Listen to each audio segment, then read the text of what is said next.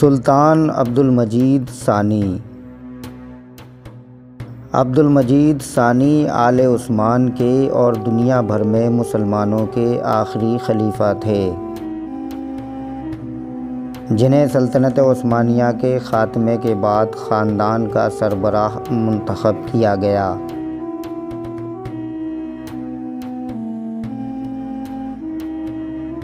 तीन मार्च 1924 ईस्वी को तुर्क जमहूरिया की जानब से खिलाफत के ख़ात्मे के ऐलान के साथ ही उनका अहदे खिलाफत भी ख़त्म हो गया।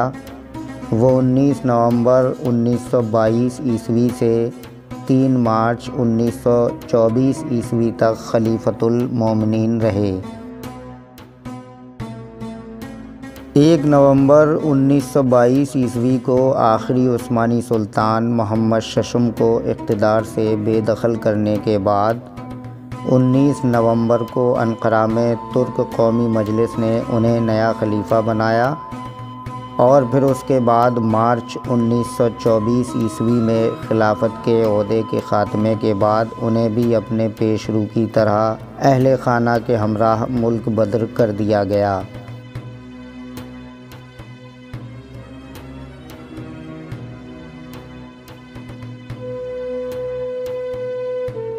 उनकी इकलौती साहिबजादी, शहज़ादी, खदीजा, खैरिया, आयशा, दर शहवार, आखिरी निज़ाम हैदराबाद, नवाब मीर उस्मान अली ख़ान के बेटे आज़म जाह के निकाह में दी गई थी।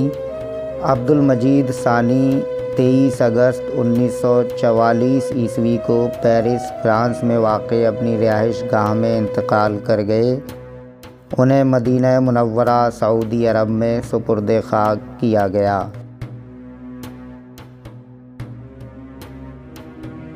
सब्सक्राइब कीजिए नूर एन साहिर को ऐतिहासिक और बायोग्राफिक वीडियोस सबसे पहले देखने के लिए।